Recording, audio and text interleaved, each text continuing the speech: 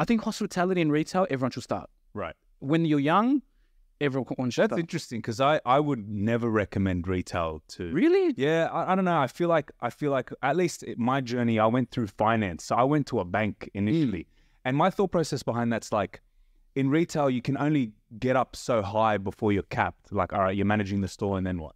But it's not. A, it's not about the career. It's the the skills that you learn. So, for True. example, if you're in finance, you're only sort of talking to a certain level of people. Whereas in retail, you got the finance guy coming in to get a T-shirt. You got the you got the real estate guy.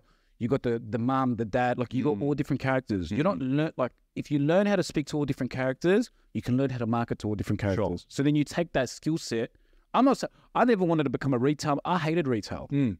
The the only way I tur- I actually started liking retail is when I started giving advice to people. When I'm like, oh fuck, I actually, I can sit here and talk to not shut the fuck up for five hours to talk to someone about their life. And it makes it rewarding for you as well, right? Because Hundred percent. you're passionate about actually adding value. And that's what it was. Mm. It was, you know, people think that I'm passionate about selling sex toys. It's not the sex toys. I'm passionate about talking about a taboo subject that not many people can go to other people about. You don't go to your mum and dad about this is what's happening in my body or this is what's happening when I have sex. Mm. Your friends are not as educated as what you are. Mm. You got to go to some random. Why not the fucking guy who's loud, a little bit abrupt, and you know just looks like talks like me and you. Mm. You know, and that's that's Yeah. what I did. You're definitely very approachable. Thank you. I'll Your give you staff says the same about you. Fuck you, bro. you know, what to do, man? We should get like we should get some of them in here. I want like live interviews. no, that'd be, that'd be bad, bro. We did a survey once about like two, three years ago. Um, it wasn't even my idea, but we did a survey for all the overseas staff. Like one of my my two IC essentially was like, let's do a survey because you could tell everyone was sort of a bit pissed pissed off at me. Do a survey for all the staff on about Bishara. Like as one of the aspects, it was like a bit about the boss, and they destroyed me, bro. But can I just say something? Like, you know what I respect? Most people would like cut this shit out and like that. You're actually honest about it. Like, we all have fuck ups. I've had Correct. staff that fucking didn't like me. Mm. It's their fault. Mm. But sometimes when you're like, you know, I feel like when you're running a business and then when you have staff and like you have one objective and then their objective, a lot of, if they're not on the right, uh, in your business for the right reason, Mm, on the same wavelength. yeah, or on the same mission, Mm. their objective is just to rock up and get paid. Right. So anything like you're you're happy to go spend an extra five hours working on something that you're not going to see a, a, a reward for. Mm. A lot of people might have to look to that. Yeah.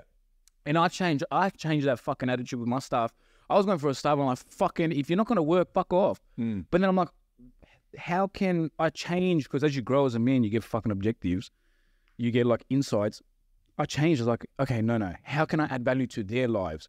Mate, the minute I did that, my whole staffing situation changed for the better. You know what? Same thing here as well, bro. Like I, I used to be like militant, like a Mm. commander, like every single time. I can tell an you're very quiet. no, this is the general came out and like the backs all went straight and everything. No, this isn't the whole team either. Like a lot of them work from home because they don't even want. I thought you were to say a lot of them queer. I'm like, I understand why.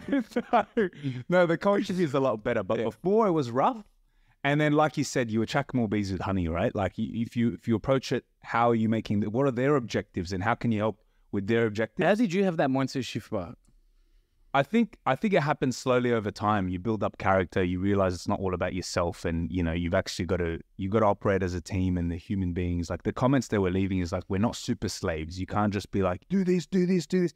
So you got to approach it in a more empathetic way, and Yeah. I think that happens only with experience. You know, you have one person quit over X, Y, Z, and you sort of wake up to yourself a little, a little bit. And people, when you start hearing the same message over and over again, yeah, for sure. you know, you know you're the one in the wrong. But it's like relation. It's like relationships as well. Mm. It's exactly. Oh, he's fucking. You know, he's possessive. Okay. Oh, he's possessive. Not me. I'm fucking not like that. You wear whatever you want, baby. But like, like you, you're exactly right. Once you start hearing the same fucking issues, and you're like, And you know what, AJ, bro? I hear the same issues with all the girls that I end up dating, bro. really? What is it? Tell me. This is fascinating. this is a part I came for. Why? Let's talk about it. One of one of the biggest reoccurring things, firstly, is you're too in love with your business. That's the first one. You're in love with your business and not me.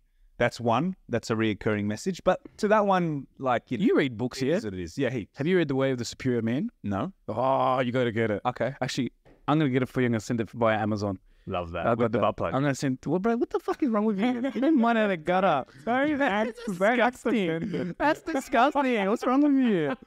But in the book, like, cause I always, you know, get into a little bit of strife on my content because I say that as well. I mm. say I feel like don't get me wrong, you should have a partner there and you give her the world and support her, love her, and everything. But like, at the end of the day, a man's got to be on his purpose. Mm. And in the book, it it it took, gives an example of, uh, you know, in 1943 when like the, all those photos came out of like the nurse kissing the soldier right on the battlefield ah, yeah. right before he's going to war, yeah, like yeah. they're leaning out, blah blah.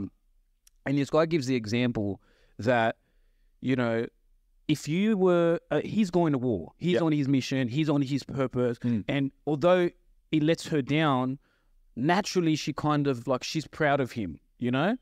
But if he were to turn around and is like, no, no, fuck this, I'm not going to this war, I'm not going on my purpose, I'm I'm coming back to, I'm gonna go back to her, I'm getting off this boat, I'm not going to war.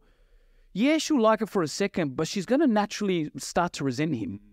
And lose respect You know? process, right? Hundred percent. Mm. Don't get me wrong. That being said, like you should make time for your partner, mm. and like with your business, you probably like think you're hanging out with her. She's just sitting there. You're sitting there.